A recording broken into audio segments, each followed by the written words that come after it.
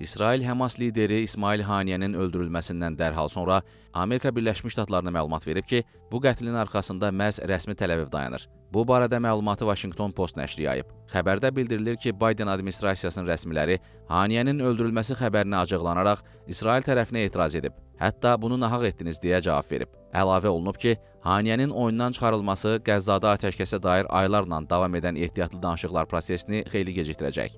Mənbənin məlumatına görə Amerika Birləşmiş Ştatları rəsmiləri İsraili qınayaraq bildirib ki, Hizbullah və ya İran komandirlərini öldürmək üçün hər hansısa hərbi əməliyyatları icra etməzdən öncə Ağ evə xəbər vermək lazım idi. Washington Postun iddialarına görə Amerika prezidenti Joe Biden və İsrailin baş naziri Benyamin Netanyahu arasında baş tutan telefon danışığı da xeyli gərgin və ittiham dolu keçib. Qeyd etmək lazımdır ki, belə bir məqalənin dərc edilməsi Ağ evin məlum hadisədən xəbərsiz olduğu barədə səsləndirdiyi iddiaları alt-üst etdi. Çünki İsmail Haniyənin öldürülməsindən sonra Amerika Birləşmiş Ştatlarının dövlət katibi Antony Blinken öncə hadisədən xəbərsiz olduqlarını, sonra isə bu barədə məlumat alsalar da hansı qüvvələr tərəfindən həyata keçirildiyini bilmədiklərini açıqlamışdı.